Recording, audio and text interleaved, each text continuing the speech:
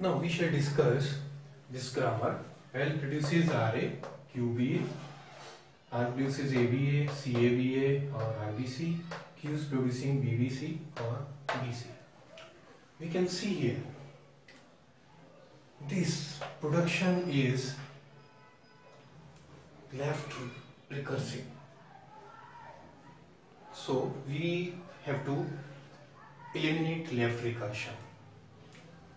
For this production, if I take it here, R is producing ABA or CABA or RBC. What can happen here? For R, I can replace R by ABA or CABA. Okay? So forget this. If I had A was producing AA or B, then I was writing the grammar A produces BA dash and A dash produces epsilon or A A dash. Okay? So if I take ABA as B, then I can write this grammar as R produces ABA R and R dash produces BC R dash or epsilon. If I take this as B, if I take this as B, then I can write here R C A B A R dash and R dash produces BC R dash or epsilon.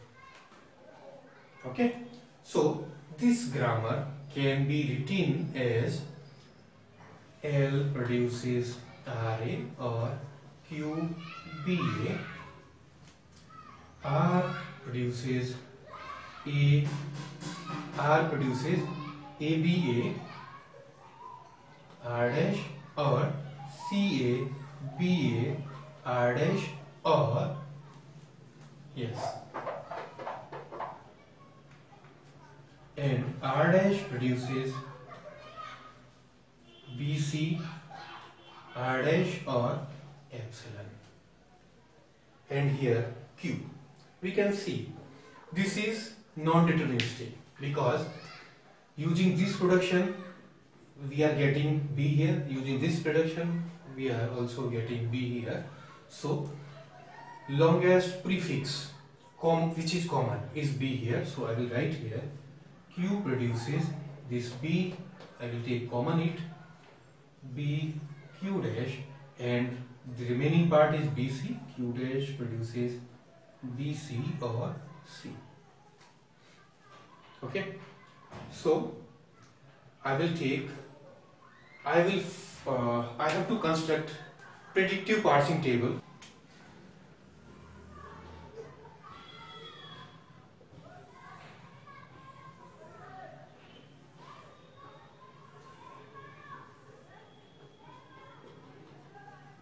first follow. First set I will see here. From this production I am getting sorry here. I am getting B here. As first if I use this production C will be first. If I use this production B will be first. If I use this production B will be first and epsilon will be first. If I use this production, A will be first. If I use this production, C will be first. If I use this production, R, first of L will be first of R, which is A and A and C. So I am writing A and C here. If I use this production, first of L will be first of Q. So first of Q is B. I am using B here. and follow of L. L is the start symbol which is never been used here. At other places so follow of L will be dollar. I am writing dollar here. Follow of R. Follow of R is A here. And nowhere, nowhere A nowhere r has been used. So follow of r will be a. And follow of r dash follow of r dash will be same as that of r which is a and yes. Okay. Follow of q. Follow of q using this production it will be b. Yes. Nowhere q is coming else. So follow of b q will be b. And follow of q dash.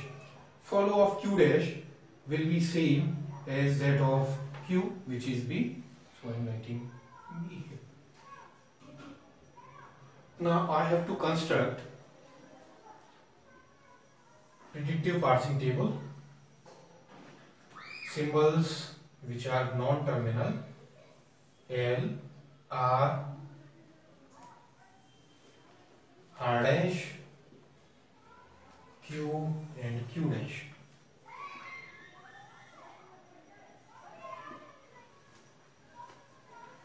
okay. And terminals are ABC and dollar. So I am writing A B C and dollar. Yes. When shall I get A? Uh, if I use this production using R I will get A so I am writing L produces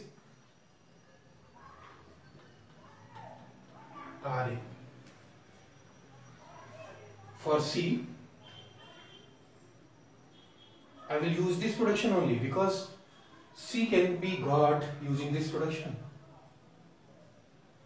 So I will write in this cell L produces RA.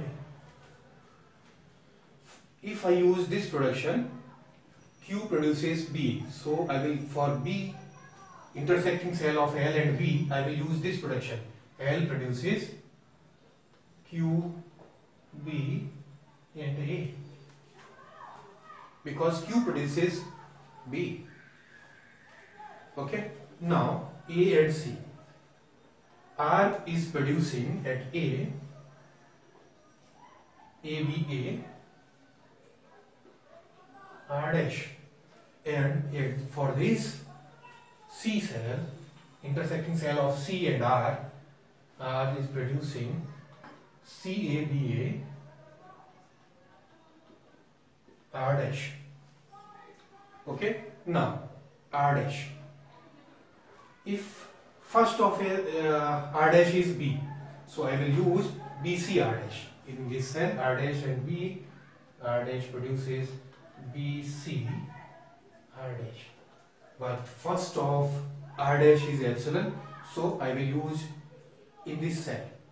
R dash and a's intersecting cell will produce epsilon so r dash produces epsilon because epsilon is given directly here. Here q produces bq dash q and bq yes. Q here and b here so q produces bq dash and here Q dash is producing BC, Q dash is producing BC and Q dash is producing C. Q dash is producing C here. And remaining blank spaces, blank places or blank entries are errors. Error, error, error, error, error